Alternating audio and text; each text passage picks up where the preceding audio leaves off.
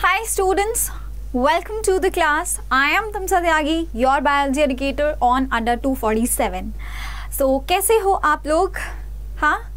कैसे हो बच्चाबाड़ी जल्दी से मुझे फटाफट से कमेंट सेक्शन में बताते जाएँगे कौन कौन हमारे साथ जुड़ गया है और आप लोग कैसे हो। जल्दी से फटाफट से बता दीजिए। यस बच्चों कैसे हो? फटाफट से बताएँगे फटाफट से। आज हमारा थर्ड लेक्चर होने वाला है sexual reproduction in flowering plants और बेटा इस लेक्चर में आज हम कवर करने वाले हैं क्या? सो so, इस लेक्चर में हम क्या कवर करेंगे? जल्दी से मैं आपको यहाँ पे बता देती हूँ। हम क्या कवर करेंगे? आज हम पढ़ेंगे बेटा गाइनोशियम के बारे में। ठीक है? आज हम किसके बारे में पढ़ने वाले हैं? गाइनोशियम जो कि है फीमेल पार्ट सो हम इस गाइनोशियम के बारे में आज कवर करेंगे फीमेल पार्ट के बारे में आज हम पढ़ने वाले हैं। और राइट सो इस फीमेल पार्ट को हम और क्या बोलते हैं? What is this female part also known as androecium androecium is the male part बच्चा। गाइनोशियम की बात हो रही है। गाइनोशियम को और हम क्या कहते हैं? Pistil very nice common name क्या है? पिस्टल ठीक है? और इसके साथ साथ क्या कहते हैं? इसके साथ साथ हम इसको बोलते हैं कार्पल ठीक है? इसके साथ साथ हम इसको और क्या कहते हैं? कार्पल फाइन ये हम स्टार्टिंग की क्लासेस में पढ़ चुके हैं. सो so, अभी पिस्टल के स्ट्रक्चर को और ओव्यूल के स्ट्रक्चर को हम थोड़ा सा डिटेल में कवर करने वाले हैं. ठीक है? आगे बढ़ते हैं फटाफट से. So the pistil ovule and embryo sac pistil के स्ट्रक्चर को पढ़ेंगे यहाँ पे अच्छे से। ओव्यूल के स्ट्रक्चर को समझेंगे कि ओव्यूल के स्ट्रक्चर में क्या क्या चीज़ें प्रेजेंट है और फिर हम एम्ब्रियो सैक के बारे में जानेंगे। राइट मीन वाइल जितने भी नए बच्चे आ रहे हैं बच्चे फटाफट से कमेंट सेक्शन में मुझे बताते जाइए कि कौन कौन जुड़ गया है हमारे साथ में और सेशन को शेयर करते जाना ठीक है? सेशन को शेयर करते जाना। सो so, uh, सबसे पहले बच्चे पिस्टल जो है वो एक फीमेल सेक्स ऑर्गन है। क्या है? एक फीमेल सेक्स ऑर्गन है। Okay okay? यानी कि ये फीमेल पार्ट है जो कि सेक्सुअल रिप्रोडक्शन में इन्वॉल्व होएगा। और क्योंकि ये सेक्स ऑर्गन है, यहाँ से क्या प्रोड्यूस होएगा बच्चे? फीमेल गैमीट प्रोड्यूस होगा। क्या होगा? यहाँ से आपका फीमेल गैमीट प्रोड्यूस होएगा। ओके सो द गाइनोशियम में consist of a single pistil gynoecium के अंदर एक सिंगल पिस्टल रहता है।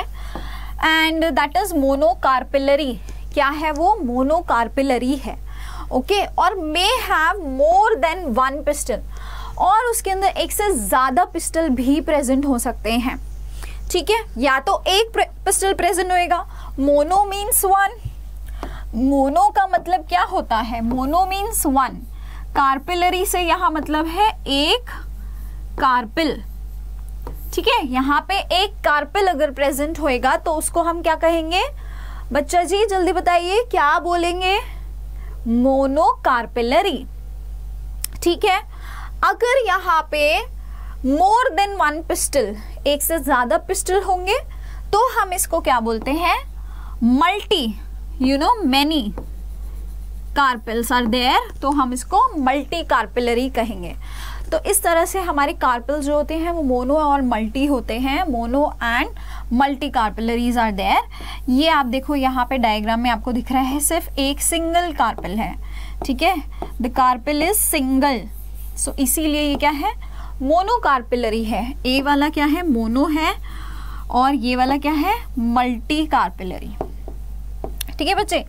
सो so, मल्टी में आप देख सकते हो बहुत सारे कार्पल्स हैं। कितने हैं total one two three four five है ना? सो so, ये क्या हो गया? मल्टी कार्पिलरी क्या है बच्चे ये? मल्टी कार्पिलरी ठीक है? आई बात समझ में? मल्टी कार्पिलरी है? ओके अब बच्चे आगे। If there are more than one अगर एक से ज़्यादा पिस्टल्स हैं ठीक है? वो मल्टी कार्पिलरी है। ठीक है मल्टी कार्पिलरी है। साथ साथ साथ साथ अगर वो वहाँ पे जितने भी पिस्टल्स होते हैं बच्चे, वो सारे क्या हो? फ्यूज्ड हो। यानी कि वो सारे आपस में क्या हो? जुड़े हुए हो। फ्यूज्ड होते हैं। तो उसको हम क्या कहते हैं? सिनकार्पस क्या बोलते हैं बच्चों? सिनकार्पस ठीक है? अगर वो वहाँ फ्यूज्ड भी होते हैं तो उसको हम सिनकार्पस कहते हैं। एग्ज़ाम्पल इसका है हिबिस्कस पैपावेर ठीक है? हिबिस्कस है पैपावेर है। और कभी कभी क्या होता है ना कि जो बहुत सारे कार्पल्स होते हैं, वो फ्री होते हैं। ठीक है? वो क्या होते हैं? फ्री होते हैं। तो उसको हम बोलते हैं एपोकार्पस एपो का मतलब यहाँ फ्री है। सिन का मतलब होता है फ्यूज्ड क्या होता है बच्चे? फ्यूज्ड और एपो का मतलब फ्री तो सारे अलग अलग होंगे, ठीक है? तो बेटा आप यहाँ पे देखो सिन कार्पस का एग्ज़ाम्पल आपका यहाँ हिबिस्कस का दिखाया हुआ है। जरा यहाँ ध्यान से देखना, ये बहुत सारे पिस्टल्स हैं, ठीक है? बहुत सारे पिस्टल्स हैं, बहुत सारे कार्पल्स हैं। बट यहाँ पे आके ना ये एक साथ इकट्ठा फ्यूज हो गए, देखो सी यहाँ पे एक साथ ये फ्यूज हो गए। फ्यूज हो गए ना सारे एक साथ। फ्यूज होने का मतलब क्या है? यहाँ पे सारे वो जोड़ गए हैं। फ्यूज हो गए हैं, ठीक है? तो इसीलिए इसको हम क्या कह रहे हैं? सिन कार्पस क्या कह रहे हैं? सिन कार्पस वही अगर हम मल्टी कार्पिलरी एपोकार्पस की बात करें तो एपोकार्पस में देखो, सारे पिस्टल्स अलग अलग हैं। ये अलग ये अलग ये अलग ये अलग ये अलग ये अलग। जुड़े नहीं हैं। अलग अलग पिस्टल्स हैं, ठीक है? तो इसीलिए आपका ये क्या है? फ्री है। है ना? सब एक दूसरे से फ्री हैं। बाउंड नहीं है। सारे एक दूसरे से फ्री हैं। तो ये क्या हुआ? ये आपका एपो कार्पस हो गया। इसका एग्ज़ाम्पल रहता है मिशेलिया बेटा एग्जाम्पल्स बहुत ज़रूरी होते हैं। एग्जाम्पल्स बहुत ज़रूरी होते हैं। तो एग्ज़ाम्पल क्या है? आपका एनोना है मिशेलिया है, ये दोनों एग्ज़ाम्पल रहते हैं एपो कार्पस के। सीन कार्पस के एग्ज़ाम्पल रहते हैं हिबिस्किस और पैपावेर आगे बढ़ते हैं।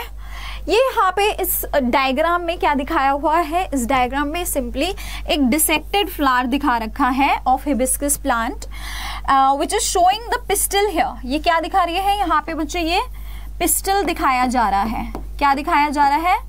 पिस्टल दिखाया जा रहा है यहाँ पे। And other floral parts have been removed और यहाँ पे ना बाकी ये फ्लोरल पार्ट्स को रिमूव कर दिया गया है। ठीक है तो ये आपका पिस्टल है पूरा का पूरा। यहाँ पे स्टिग्मा है, ये स्टाइल है, ये ओवरी है। इसको डिसेक्ट किया हुआ है। डिसेक्ट का मतलब होता है ना, जिसे हम लैब के अंदर डाइसेक्शन करते हैं।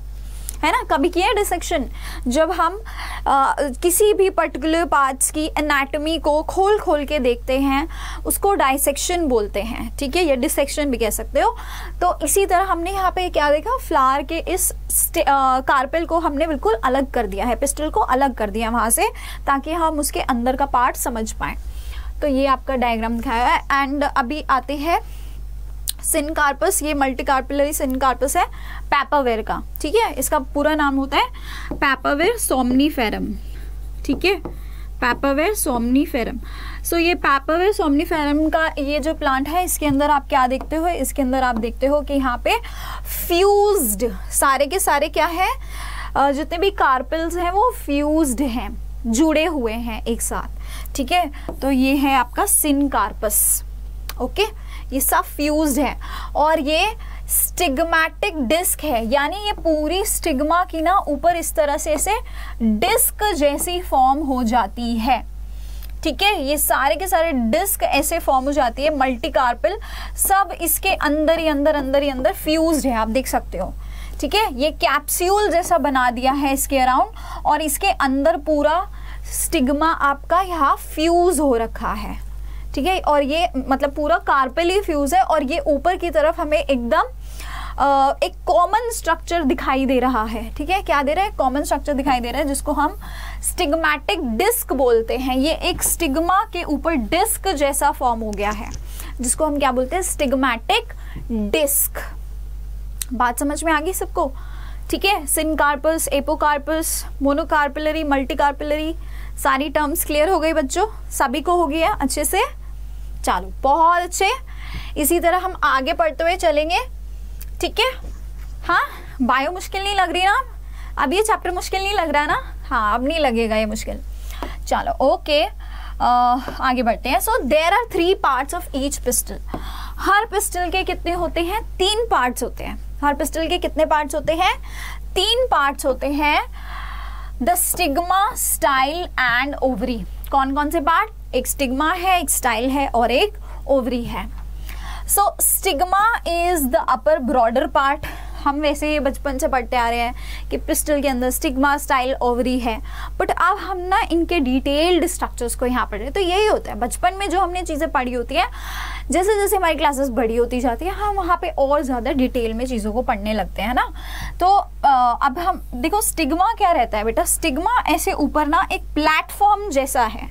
एक प्लेटफॉर्म जैसा है जिसके ऊपर पॉलिन ग्रेन्स आके लैंड करते हैं। पॉलिन ग्रेन्स जब आते हैं तो इसी प्लेटफॉर्म पे गिरते हैं, आके लैंड होते हैं। So stigma is the upper broader region which is specialised for receiving the pollen grains और ये किस चीज़ के लिए स्पेशलाइज्ड है? पॉलिन ग्रेन्स रिसीव करने के लिए ये स्पेशलाइज्ड रहता है। ठीक है? The style is the long stalk जो स्टाइल है वो क्या है? ये लंबी सी यहाँ पे जो स्टॉक जैसा स्ट्रक्चर होता है इसको हम बोलते हैं स्टाइल ठीक है? ये लंबी सी स्टॉक जैसा स्ट्रक्चर यहाँ क्या है? ये स्टाइल है। सो so, ये long stalk like structure and ovary this is the basal ये नीचे का बेसल स्वॉलन ओव्यूल है।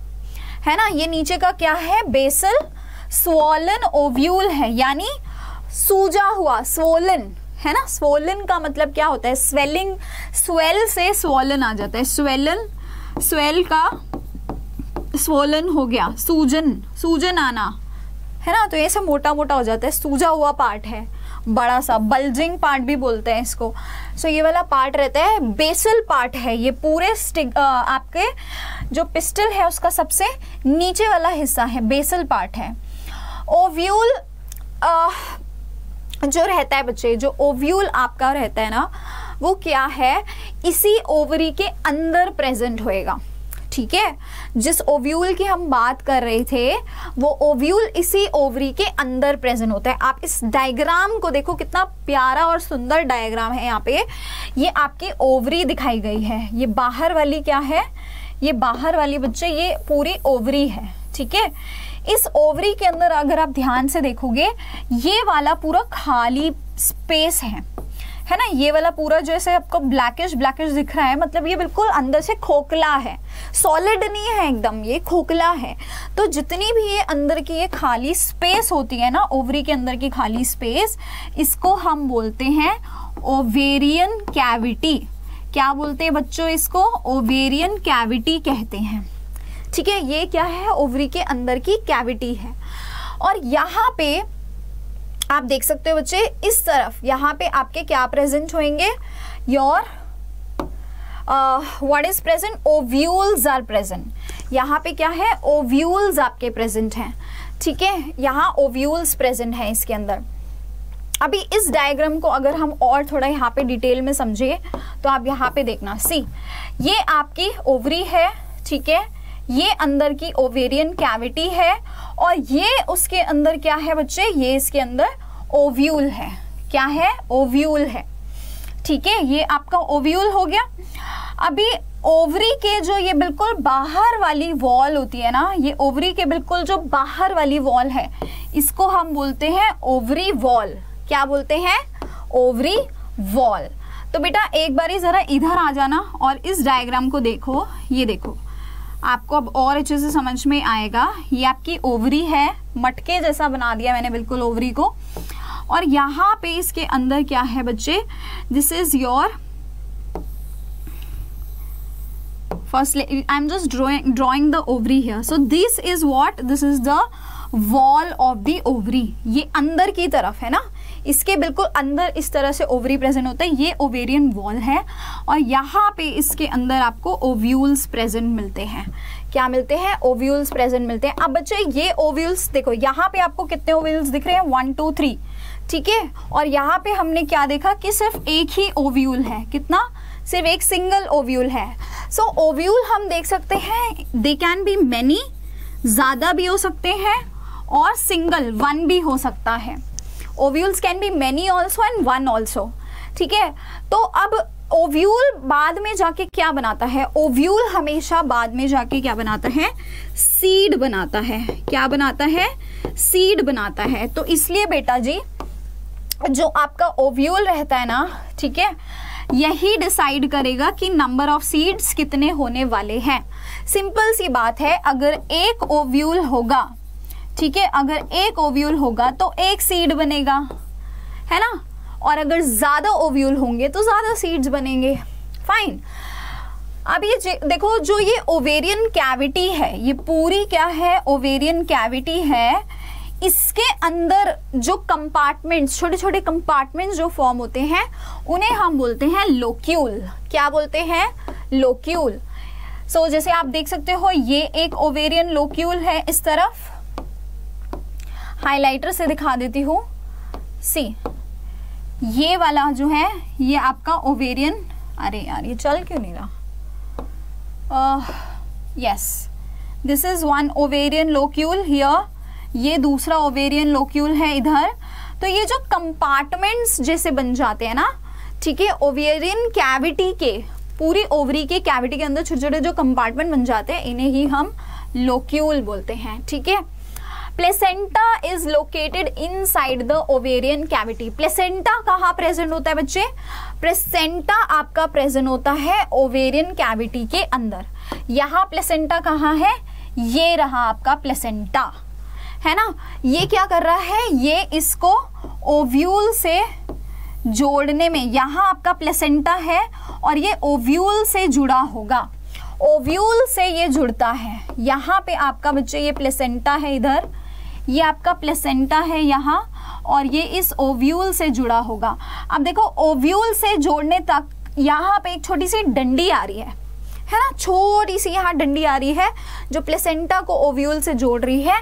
इसको हम बोलते हैं फ्यूनिकल क्या बोलते हैं बच्चे इसको हम? इसको हम कहते हैं फ्यूनिकल ये है आपकी फ्यूनिकल जो प्लेसेंटा को किससे ज्वाइन करती है? ओव्यूल से ज्वाइन करवा रही है। प्लेसेंटा को ओव्यूल से ज्वाइन करवा रही है। ठीक है बेटा, इतनी बात समझ में आई सभी को। सारा स्ट्रक्चर क्लियर हुआ। हाँ हमने सिंपली क्या पढ़ा? हमने गाइनोशियम के बारे में आज पढ़ा। गाइनोशियम को हम पिस्टल कहते हैं, ठीक है? दोबारा से दोहरा रही हूँ, ध्यान से सुनते रहना। ठीक है पिस्टल कहते हैं पिस्टल के अंदर थ्री पार्ट्स होते हैं स्टिग्मा स्टाइल एंड ओवरी ठीक है? इतनी बात समझ में आई? स्टिग्मा प्लेटफॉर्म होता है जिसमें पॉलन ग्रेन्स गिरते हैं, फिर आपकी लंबी स्टॉक आती है, जिसे स्टाइल कहते हैं, फिर आपका ओवरी आता है बल्जिंग पार्ट उस ओवरी के अंदर स्पेस होती है, जिसको हम ओवेरियन कैविटी कहते हैं, और फिर उसी के अंदर आपके क्या प्रेजेंट होते हैं? ओव्यूल्स प्रेजेंट होते हैं। जो कि एक भी हो सकते हैं, ज़्यादा भी हो सकते हैं। और ये ओव्यूल्स प्लेसेंटा से कैसे जुड़े होते हैं? प्लेसेंटा से जुड़े होते हैं with the help of funicle that's it बहुत सिंपल है। ठीक है? अभी जैसे कि मैंने बताया था बच्चे प्लांट्स कैन बी यहाँ पे जो सीड जो ओव्यूल्स होते हैं ना, वो एक भी हो सकते हैं। तो जहाँ जहाँ एक होते हैं, उसके एग्ज़ाम्पल आपके क्या है? मोनोकॉट आपके एग्जाम्पल्स यहाँ आएँगे, जैसे कि वीट है पैडी है मैंगो बट या मैंगो के अंदर आप देखते हो, एक सीड प्रेजेंट होता है। ठीक है? उसके अलावा वीट और पैडी भी यहाँ पे एग्ज़ाम्पल है। देन आपके आते हैं मैनी सीड्स वाले। मैनी सीड्स वाले में क्या आएगा? पपाया। कितने सारे बीज होते पपाया में, हम सब जानते हैं। तरबूज में वाटरमेलन में कितने सारे सीड्स होते हैं। ऑर्किड का फ्रूट इस तरह नज़र आता है। ऑर्किड के फ्रूट पे आप देखो, कितने सारे सीड्स हैं यहाँ। है ना? कितने सारे बीज हैं इसके अंदर। तो orchids is also the example जहाँ पे बहुत सारे सीड्स प्रेजेंट होंगे। फाइन अब देखो the ovule is a small structure attach to the placenta ये हम पढ़ चुके हैं ओव्यूल क्या है? ओव्यूल सिंपली एक छोटा सा स्ट्रक्चर है जो कि किससे अटैच होता है? ये यहाँ से आपके प्लेसेंटा से अटैच होगा। ठीक है? किससे अटैच होएगा बच्चे? प्लेसेंटा से अटैच होगा। ठीक है? प्लेसेंटा से कैसे अटैच होता है? जैसे कि मैंने अभी बताया, एक स्टिक रहती है जिसको हम क्या कहते हैं? फ्यूनिकल यही वो स्टिक है जिसको हम क्या कहते हैं? फ्यूनिकल तो बेटा फ्यूनिकल प्लेसेंटा से जोड़ रहा है, ये प्लेसेंटा है, इससे ओव्यूल जुड़ रहा है आपका, ठीक है? ओव्यूल जुड़ रहा है, जिस जगह पे जुड़ रहा है, यानी ये जो साइट ऑफ़ अटैचमेंट है, ठीक है? जिस जगह पे, ये इस पर्टिकुलर जगह पे जुड़ रहा है ना ठीक है? तो ये जो साइट ऑफ़ अटैचमेंट है, जहाँ पे ये फ्यूनिकल ओव्यूल से प्लेसेंटा को जोड़ रहा है, इस साइट को हम क्या कहते हैं? इस साइट को हम बोलते हैं हाइलम। आई बात समझ में? ठीक है? क्लियर हुआ बेटा सबको? जैसे कि ये आपकी इधर से फ्यूनिकल आ रही है, ये आपका ओव्यूल है। तो ये वाली जो ये साइट रहेगी ना, यहाँ पे, इसी को हम क्या कहते हैं? हाइलम कहते हैं। ठीक है? ये आपका फ्यूनिकल है। ये आपका ओव्यूल है। ठीक है? ये आपका क्या है? हाइलम है। और यहीं पे, नीचे की तरफ़, यहाँ पे ऐसा रिज जैसा स्ट्रक्चर फॉर्म हो जाता है, जो कि एक तरह से क्या है? इस फ्यूनिकल और ओव्यूल का एक अटैचमेंट है, यहाँ पे। ऐसा रिज जैसा स्ट्रक्चर फॉर्म हो जाता है। इस रिज जैसे स्ट्रक्चर को हम क्या कहते हैं बच्चे? इसको हम कहते हैं just wait a second next slide में बताती हूँ आपको। राफ ठीक है? यहाँ पे बता देते हैं हम। सो so, ये रहा ये डायग्राम नज़र आ रहा है सबको? तो ये जो रिज जैसा स्ट्रक्चर है इसको हम क्या कहते हैं? राफ कहते हैं। इसी राफ की बात कर रही हूँ मैं ये राफ। ठीक है? इस रिज जैसे स्ट्रक्चर को हम क्या कहते हैं? राफ। ओके? ठीक है? So, sometimes funicles get fused with the body of the ovule along one side and forms a ridge. तो ऐसे ही होता है कभी कभी फ्यूनिकल जो होता है ओव्यूल से इस तरह से अटैच हो जाता है और ऐसे रिज जैसा स्ट्रक्चर फॉर्म कर देता है, जिसको हम राफ कहते हैं। The basal region of the ovule is known as chalaza ovule का जो बेस वाला रीजन है, ये ओव्यूल का बेस है। क्या है? ओव्यूल का बेस है, बच्चे। ओव्यूल का बेस है। तो बेस वाले रीजन को हम क्या बोलते हैं? चलाजा। ठीक है? Chalaza. C H A L A Z A chalaza. ये नाम याद रखेंगे सारे। ठीक है?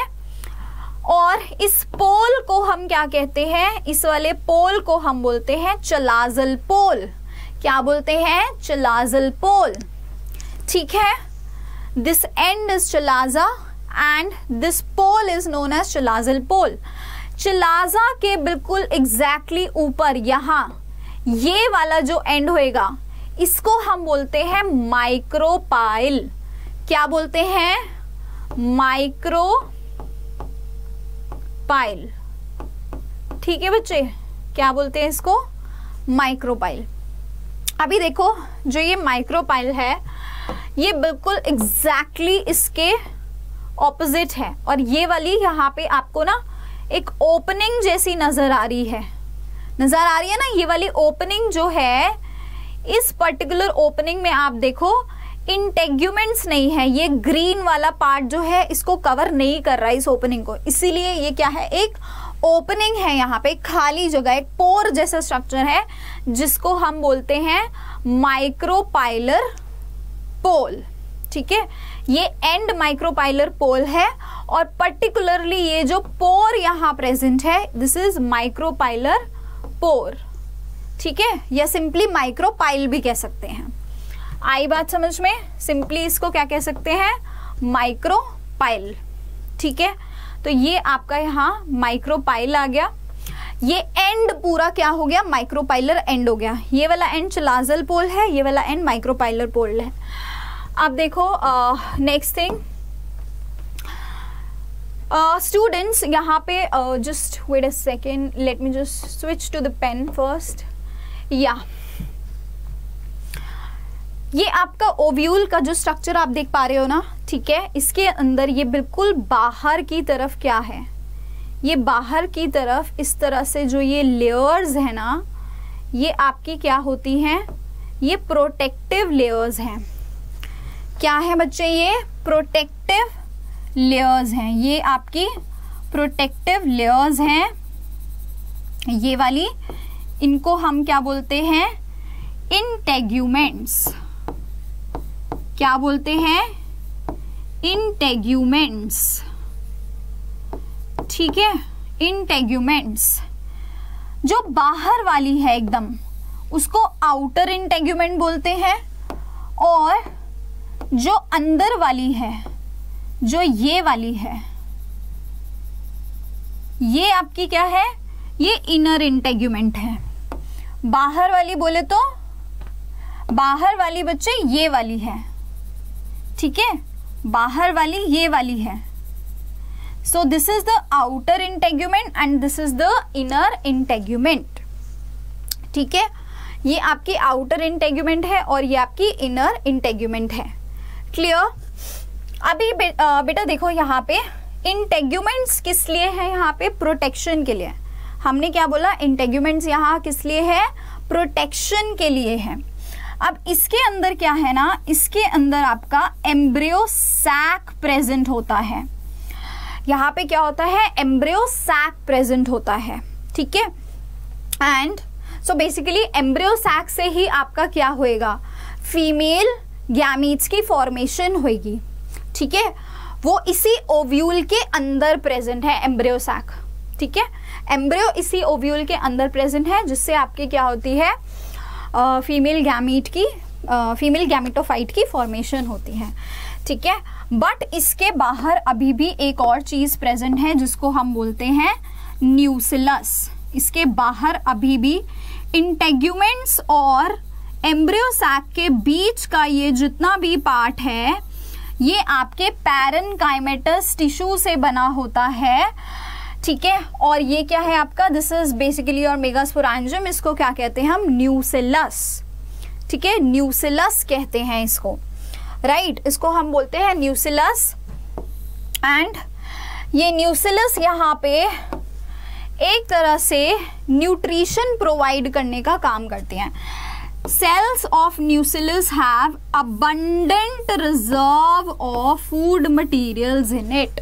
इनके अंदर बहुत सारा न्यूट्रिशन स्टोर्ड रहता है, जो कि क्या करेगा, जो कि इन एम्ब्रियो सैक की फर्दर डेवलपमेंट में हेल्प करेगा। तो न्यू न्यूसिलस यहाँ पे क्या प्रोवाइड करते हैं? न्यूट्रिशन प्रोवाइड करते हैं for the development of the embryo sac clear बच्चों? हाँ सबको समझ में आ रहा है? अच्छे से समझ में आ रहा है ना? यस और नो ओके ठीक है। आगे बढ़ गए। So nucellus is enclosed by one और टू लेयर्ड प्रोटेक्टिव एनवेलप्स ये मैं ऑलरेडी बता चुकी हूँ कि न्यूसिलस के बाहर क्या है। ये आपकी इस तरह से इंटेग्यूमेंट्स प्रेजेंट होती हैं, जो कि आपके प्रोटेक्टिव एनवेलप्स की तरह हैं प्रोटेक्शन प्रोवाइड कर रही हैं। एक्सेप्ट एट द एपेक्स बस सिर्फ़ आप देखो बेटा, सिर्फ़ टिप पे ही ये एबसेंट है। सिर्फ़ इस टिप वाले पोर्शन पे ही ये एबसेंट एबसेंट होती है।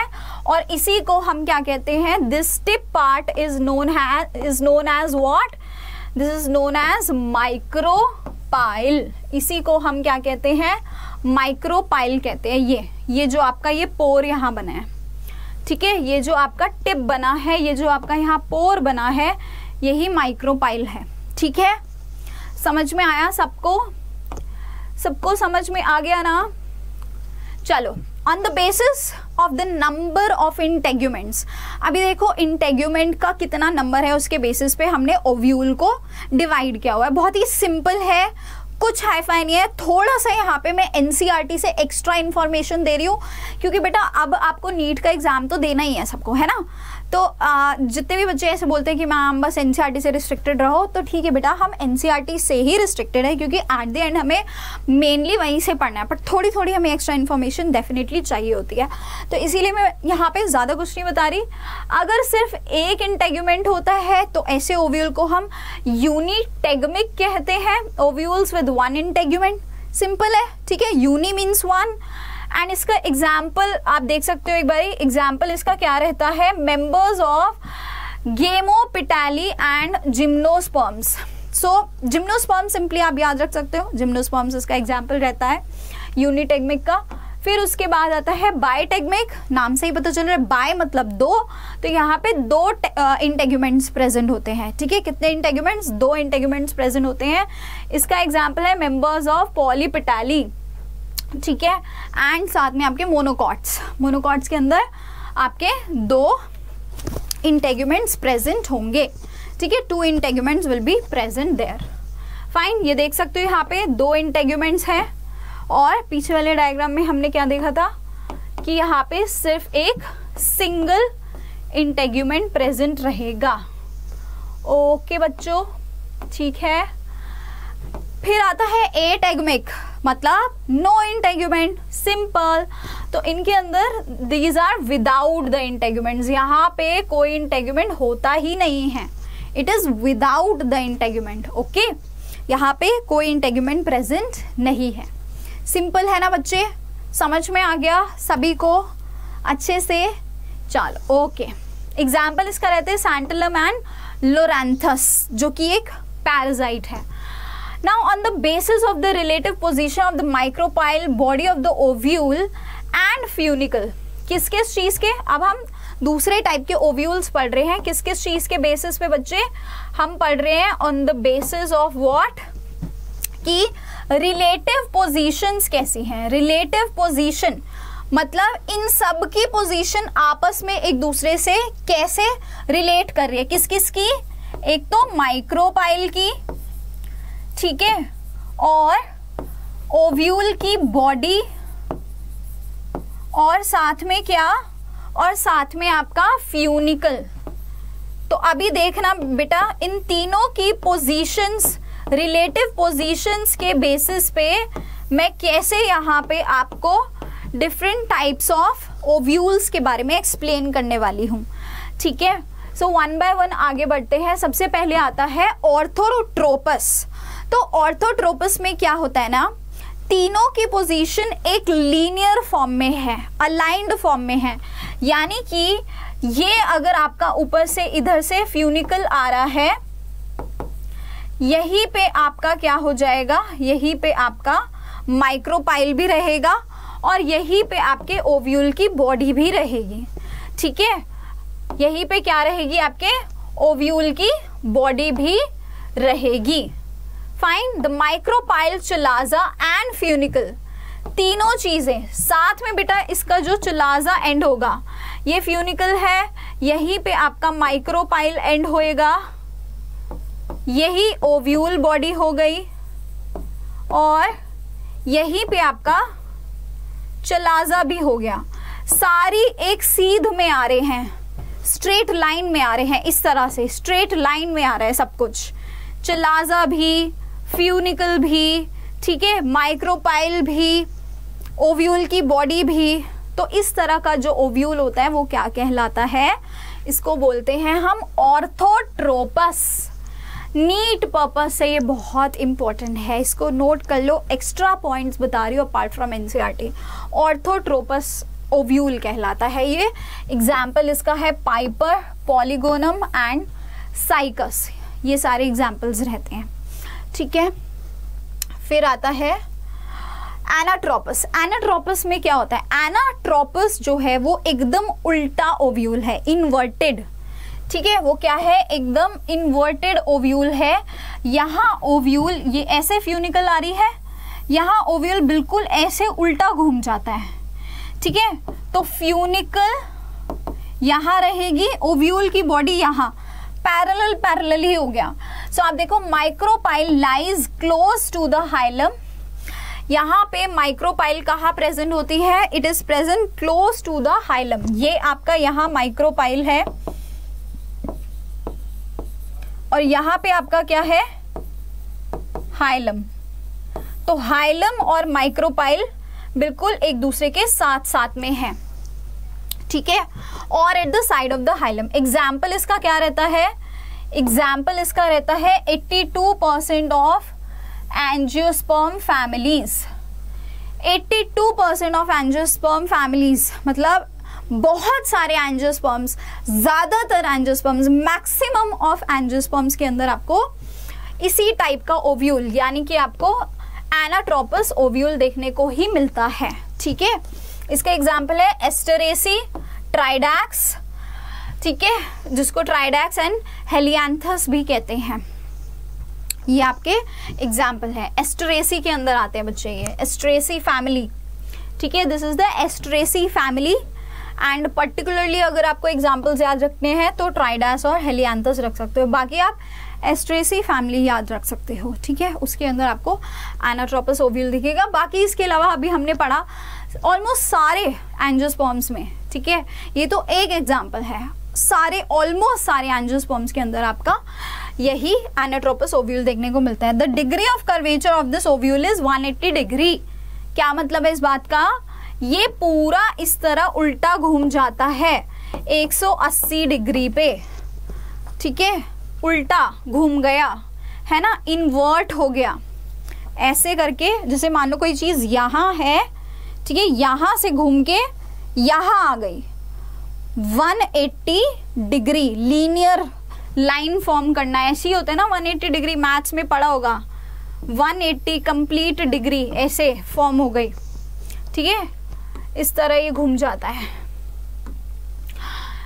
नेक्स्ट आता है कैम्पाइलोट्रोपस। कैम्पाइलोट्रोपस के अंदर क्या होता है बच्चों? कैम्पाइलोट्रोपस एक ऐसा ओव्यूल है जहाँ पे आपका वो सिर्फ़ 90 डिग्री पे घुमा हुआ है। सिर्फ़ इतना 90 डिग्री पे ही घूमता है। ठीक है? ये आपका ऐसे करके, पूरा ऐसे ना होने की बजाय सिर्फ़ ऐसे है। समझ रहे हो? ये आपका जैसे this is your high this is your what यहाँ से आपकी फ्यूनिकल जा रही है है ना? मेरे इस वाले आर्म को आप फ्यूनिकल समझो। और ये आपका क्या है? ये आपका ओव्यूल है। अगर ये पूरा ऐसे नीचे की तरफ़ बेंड हो गया तो वो एनाट्रोपस है, पूरा इन्वर्ट हो गया। और सिर्फ़ इतना रहा, ठीक है, सिर्फ़ ऐसे 90 डिग्री ये 90 डिग्री यहाँ ऐसे फॉर्म कर देगा तो ये आपका क्या कहलाएगा? कैम्पाइलोट्रोपस ठीक है? इट इज़ मोर और लेस हल्का सा हम बोल सकते हैं, ऐसे कर्व्ड होता है या 90 डिग्री पे होता है। लेग्यूमिनोसी और क्रूसीफेरे में इन फैमिलीज़ के अंदर ये दिखता है, ठीक है?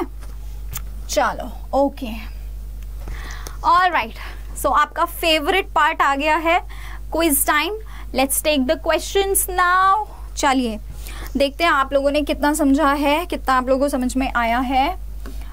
So many ovules are found in बहुत सारे ओव्यूल्स कहाँ प्रेजेंट होते हैं? वीट पैडी ऑर्किड्स मैंगो बहुत सारे ओव्यूल्स कहाँ दिखते हैं? वीट पैडी ऑर्किड्स या फिर मैंगो? सिंपल सा क्वेश्चन आया है बहुत ही इजी सा। हाँ। सो so, वीट के अंदर तो सिंगल होता है। पैडी में भी सिंगल है। है ना? ऑर्किड्स में क्या था? मैनी थे। मैंगो में भी सिंगल होता है।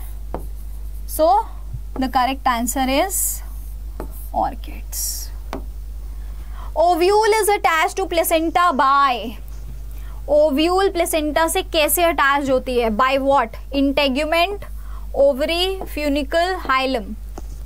Ovule is, atta is attached to placenta by. हाँ जी ओव्यूल प्लेसेंटा से कैसे अटैच्ड है? With the help of very nice funicle ठीक है? बहुत बढ़िया बच्चों। अगला। इन्वर्टेड ओव्यूल इनमें से कौन सा है? अभी एक्सप्लेन किया बिल्कुल लास्ट में, है ना? अभी अभी हमने पढ़ा। इन्वर्टेड ओव्यूल कौन सा होता है बच्चों? जल्दी से आंसर बता दो फटाफट से। Inverted ovule campylotropous anatropous orthotropous या बायोटेगमिक हाँ? वेरी नाइस इन्वर्टेड ओव्यूल कौन से होते हैं बच्चे? आपके एनाट्रोपस एकदम सही। ठीक है? कैम्पाइलो 90 डिग्री पे टर्न होता है। ऑर्थोट्रोपस आपका क्या रहता है बच्चे? सेम लाइन में, है ना? सारी चीज़ें सेम लाइन में प्रेजेंट है। एंड बायोटेगमिक में क्या होते हैं? दो इंटेग्यूमेंट्स प्रेजेंट होते हैं। वो अलग चीज़ है। ठीक है? बायोटेगमिक यूनिटेगमिक वो डिफरेंट क्लासिफिकेशन है। ऑल राइट सो बेटा, आज के लिए इतना ही। ठीक है? छोटे छोटे टॉपिक्स कवर करेंगे ताकि आप लोगों को बोरियत ना हो क्लासेस में। और सारी चीज़ें अच्छे से आपको समझ में आती रहे तो हम लोग नेक्स्ट क्लास में डेफिनेटली मिलेंगे। लेकिन आप लोगों को जितने भी डाउट्स होते हैं बेटा ये गूगल फॉर्म भरना मत भूलना। जो भी आपको डाउट्स लगते हैं जो भी आपको लगता है कि आ, हमें मैम से ये डाउट्स है या हमें ये सवाल है या हमें ये प्रॉब्लम्स आ रही है तो आप डेफिनेटली अपने टीचर्स से पूछ सकते हैं। और एक और चीज़ आप लोग पूछ रहे थे कि मैम पीडीएफ कैसे मिलेगा हमें? सो so, बेटा लेक्चर का पीडीएफ आपको कैसे मिलता है? लिंक आप डिस्क्रिप्शन बॉक्स में जाएँगे, ठीक है? वहाँ पे आपको लिंक प्रोवाइड किया गया है फॉर द पीडीएफ ठीक है? और थोड़ा सा एक इशू आ रहा है बच्चों को, बच्चे बोल रहे थे कि मैम पीडीएफ खुल नहीं रहा है तो उन बच्चों को मैं बता दूँ, वो पीडीएफ कैसे खुलेगा? आप जब इस पर क्लिक करोगे ना तो ये ऑटोमेटिकली आपको अड्डा ऐप पे लेके जाएगा, ठीक है? वहाँ पे जाएगा तो आपको क्या करना है? उस टाइम पे आपका वो पीडीएफ नहीं खुलेगा। ठीक है, वो पीडीएफ उस टाइम नहीं खुलेगा। आपको इमिडिएटली अपनी विंडो स्विच करके वापस से यूट्यूब पे आना है और फिर दोबारा से इसको क्लिक करना है। फिर आपका वहाँ पे जब आप क्लिक करोगे ना तो आपका इंटरनेट के थ्रू पीडीएफ व्यूअर जो भी आपके पास है, उसके थ्रू आपका वो पीडीएफ खुल जाएगा। ठीक है? तो पीडीएफ ये खुलेगा, बस थोड़ा सा एक टेक्निकल इशू आ रहा है कि इसको हमें दो बार ये दबाना पड़ रहा है। दैट्स इट ज़्यादा मेहनत या एक सेकेंड एक्स्ट्रा मेहनत है दैट्स इट इतना तो आप पीडीएफ पाने के लिए कर सकते हैं ना? थोड़ा सा टेक्निकल इशू आ रहा है हम ट्राई कर रहे हैं इसको जल्दी से जल्दी रिजॉल्व करने के लिए बट अगर आप लोगों को पीडीएफ की बहुत रिक्वायरमेंट है ऑब्वियसली है ही क्योंकि आपको साथ साथ पढ़ना है तो आप ऐसे कर सकते हो ठीक है?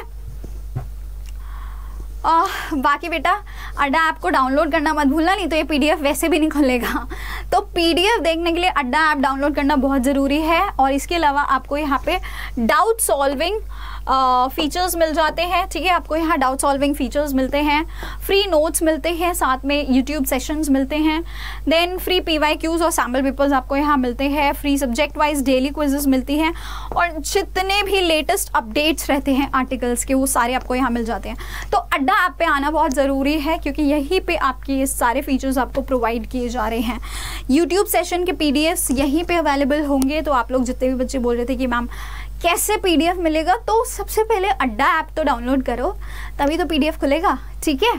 चलिए बच्चों, ओके बाय बाय और जो आज पढ़ाया, उसको कल की क्लास में ज़रूर पढ़ के आना, ठीक है? रोज़ रोज़ रिवाइज करोगे, तभी आप लोगों का सिलेबस टाइमली ख़त्म होएगा और आप लोगों के ऊपर बर्डन भी नहीं होगा। चलिए बाय बाय टेक केयर